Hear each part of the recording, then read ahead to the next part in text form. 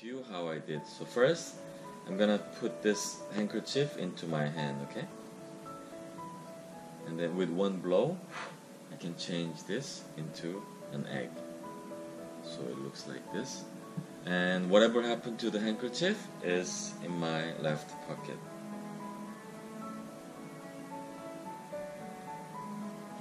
So let me explain this, okay? So I have this special egg with the hole in the back. Okay. So first, what I what you need to do is like this. First, you put your handkerchief, same looking handkerchief, into your pocket, one of your pocket, okay?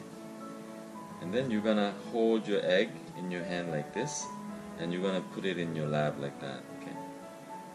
And then say that you're gonna show magic using handkerchief, okay? And you just squeeze squeeze it into your left hand like this and then show that eggs here right? And then whatever that handkerchief that you put it in your pocket you pull it out. And so that's it.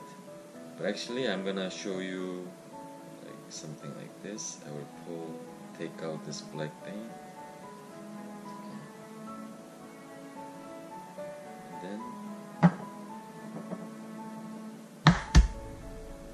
break it.